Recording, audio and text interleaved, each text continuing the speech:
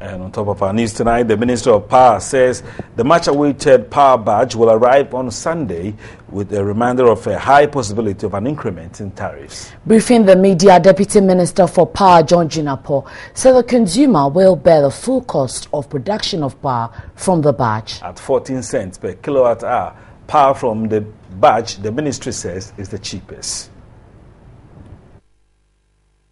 The power barge is set to arrive at the Tema port by 6 a.m. on Sunday, November 29. With it will come an increment in tariffs, but the Ministry of Power says it's not sure how much end users will pay.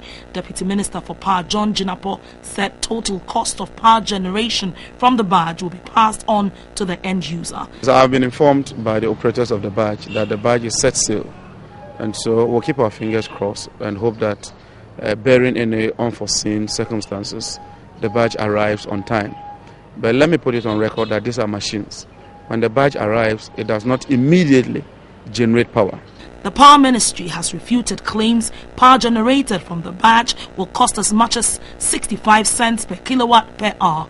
It was confident the tariff will not exceed 14 cents, which is competitive with other rates in the market pegged between 15 to 25 kilowatts per hour.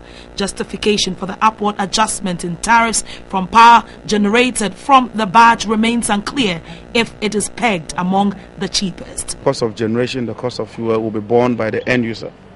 And so all of us have to brace ourselves and ensure that we pay the right tariffs.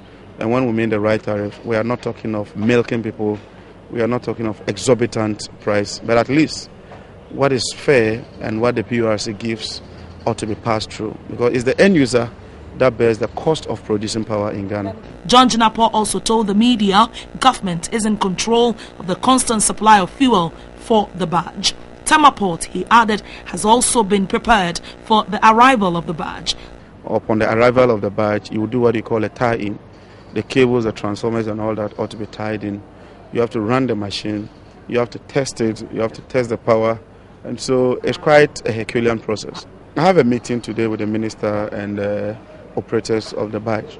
And so when we have the meeting and we get the timelines, we shall gladly put that out for you.